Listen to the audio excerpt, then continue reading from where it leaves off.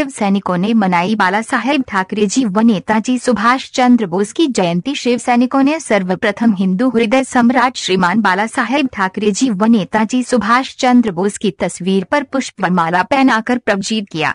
वही शिव सैनिकों ने गरीब तबके के लोगों को कंबल वितरण किए और बच्चों को बिस्किट बांटे गए।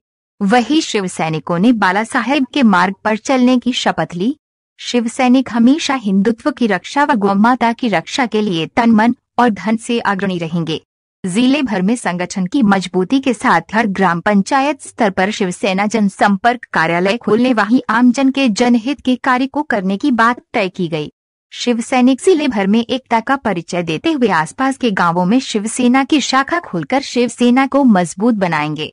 इस अवसर पर राजस्थान सह संपर्क प्रमुख अमृत राज पुरोहित जिला प्रमुख रमेश रावल पूर्व उपराज्य प्रमुख उमेश जी भामा, शाह गोविंद भाई अग्रवाल, पूर्व प्रदेश सचिव महेश राठी, शहर प्रमुख लाला राम खरवाल, जिला प्रवक्ता प्रवीण वैष्णव, पिंडवाड़ा तहसील प्रमुख राम राठौड़ रमेश गोविंद, धर्मेश डॉक्टर की गोविंदा की तहसील प्रमुख नरेश लोधी, नगर उप प्रमुख ताराराम राणा, रिंकू बंजारा, मीना काका, छगन राणा, माधु राणा, पंकज मिश्रा, कुणाल, प्रवीण कुमार, मनोज कुमार, जिग्नेश कुमार लादू राणा, राजू खरात सहित कई शिव सैनिक उपस्थित थे। सिरोही जिला के आबू रोड से कन्हैयालाल मकवाणा की रिपोर्ट।